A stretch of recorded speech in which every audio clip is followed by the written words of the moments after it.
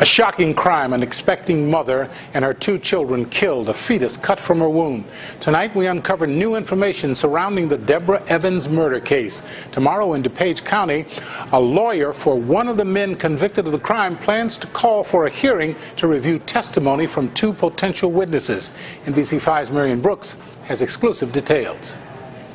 The two witnesses say they were in contact with police and prosecutors several times.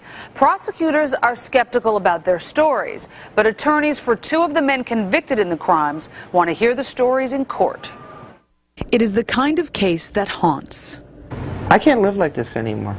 This woman, who we'll call Susan, had information about the Evans case that has always disturbed her. Nothing. If it just gets all explained away, there's seriously something wrong with the system. In November of 1995, Debra Evans was shot in the head and killed. Her full-term fetus cut from her womb. The child would survive. Her 10-year-old daughter Samantha stabbed to death. Her 7-year-old son Joshua kidnapped and then killed several hours later. So what exactly did Vikki tell you about Joshua? That he was there in the apartment that night.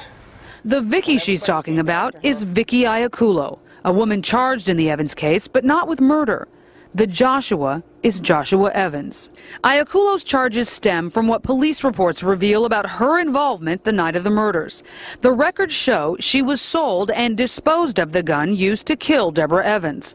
The police records also show she asked a friend about fictitious birth certificates days prior to the murders, and that she made the fake birth certificate used in the case. And records also contain statements from three witnesses who say the day after the murders, Vikki said she'd been in a a gunfight and wanted to know how to get gunpowder burns off of her hands.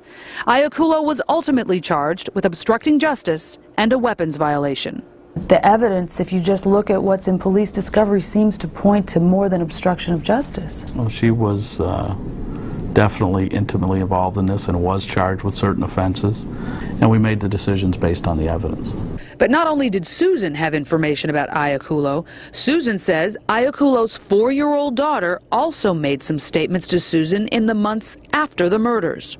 She was with Vikki and Joshua, and she saw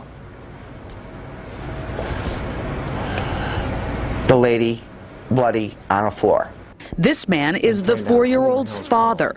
He says he heard a similar story from the little girl. And she brought up about being in the uh, apartment with her mother at that time and um, seeing a body that was covered up on the floor.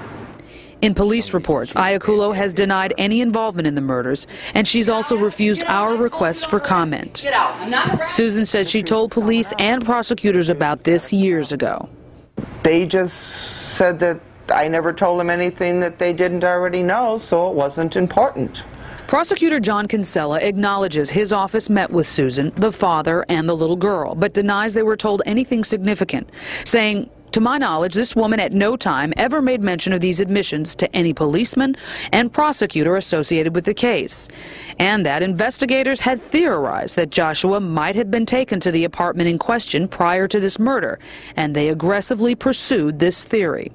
Let them say whatever they want. I know what I told them. Regardless of the past, within days after we told prosecutors what Susan and the father told us, Addison police detectives returned to interview them again. The detectives declined comment.